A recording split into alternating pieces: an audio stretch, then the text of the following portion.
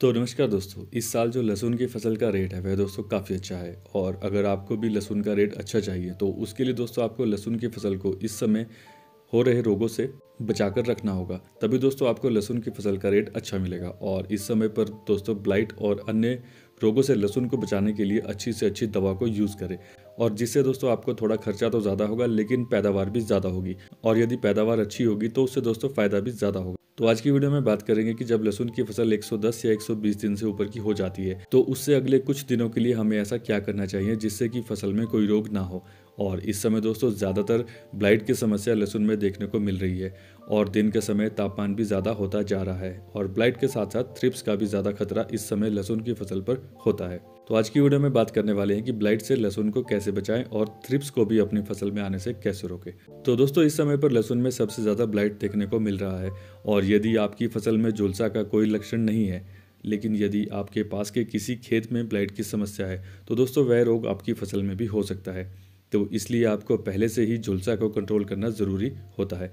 और इस समय दोस्तों सबसे ज़्यादा जो लहसुन की फ़सल में देखने के लिए मिल रहा है, उसमें है दोस्तों पौधा ऊपर से सूख रहा है।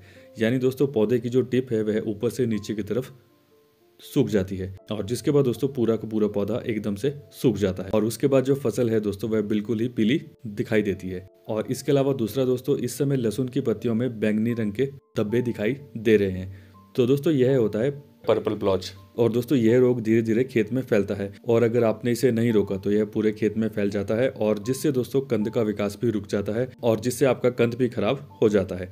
तो इसलिए दोस्तों, इस बीमारी को भी कंट्रोल करना बहुत ज़रूरी होता है। क्योंकि दोस्तों, जितना ज़्यादा समय के लिए फ़सल हरी भरी रहेगी, उतना ही कंद का विकास भी ज़्यादा होगा। और इसके अलावा दोस्तों, आपको इस समय पर सिंचाई का ज़्यादा ध्यान रखना चाहिए। यानी कि दोस्तों, जब ज़रूरत हो, तभी आप अपनी फ़सल में सिंचाई करें। और ऐसा इसलिए दोस्तों, क्योंकि एक तो काफ़ी दिन से रात को ओस भी काफ़ी ज़्यादा थी और बारिश भी बहुत ज़्यादा हुई थी। और जिसके कारण दोस्तों, जो खेत में नमी है, वह काफ़ी ज़्यादा है। और जिसकी वजह से दोस्तों, आपके खेत में ब्लाइट की समस्या आ जाती है।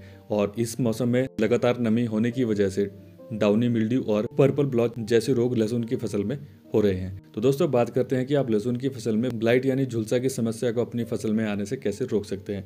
तो इसके लिए दोस्तों, आपको एमिस्ट्रा टॉप को लहसुन की फ़सल पर स्प्रे करना चाहिए और इसके अलावा दोस्तों, आप बायर कंपनी के नेटिवो या कस्टोडिया फंगिसाइड को भी डाल सकते हैं। और दोस्तों, आपको इन फंगिसाइड के साथ एम पैंतालीस फंगिसाइड को भी ज़रूर से मिला करके स्प्रे करना है, जिससे कि दोस्तों आपको ब्लाइट पर बहुत अच्छा रिज़ल्ट देखने के लिए मिलेगा। और दोस्तों, इनका डोज आप, जैसे कि एमस्टार टॉप को आप 200 सौ प्रति एकड़ के हिसाब से डाल सकते हैं, और दोस्तों एम पैंतालीस को आप ढाई ग्राम प्रति एकड़ के हिसाब से डाल सकते हैं।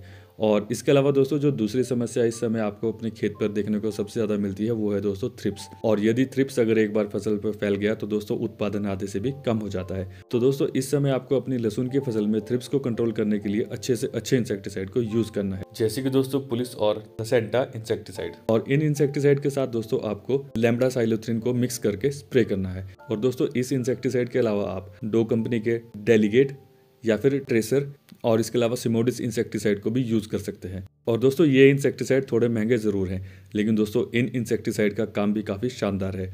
और दोस्तों, आपको स्प्रे करते समय सिर्फ़ दो बातों का ध्यान रखना है। एक तो दोस्तों किसी भी इंसेक्टिसाइड या फिर फंगिसाइड का पूरे पौधे तक जाना बहुत ज़रूरी है।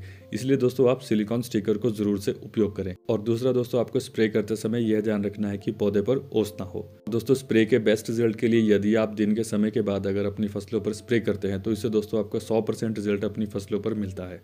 और इसके बाद दोस्तों आप इन दवाओं को 150 से 200 लीटर पानी में मिला के एक एकड़ के लिए यूज़ करें। और यदि दोस्तों आपके फ़सल में अगर ब्लाइट और थ्रिप्स की समस्या ज़्यादा है तो दोस्तों आप इन दवाओं के कॉम्बिनेशन को सात दिन के बाद फिर से उपयोग में ले सकते हैं।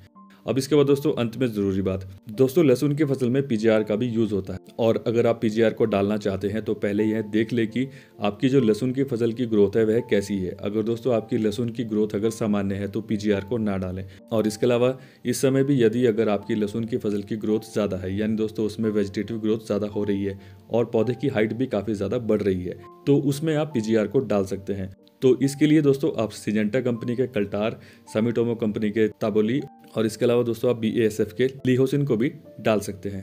और इसके अलावा अंत में दोस्तों यदि इस समय आपके खेत में ब्लाइट की समस्या ज़्यादा है तो इस समय दोस्तों आप एन पी के ज़ीरो बावन चौंतीस को उपयोग ना करें और आप ज़ीरो बावन चौंतीस को इस स्प्रे के कॉम्बिनेशन के करने के आठ से दस दिन बाद ही उपयोग करें। तो दोस्तों ये था आज का वीडियो। अगर आपको आज का वीडियो अच्छा लगा हो तो लाइक करना कमेंट करना। तो मिलते हैं आपसे नेक्स्ट वीडियो में। तब तक के लिए बाय बाय टेक केयर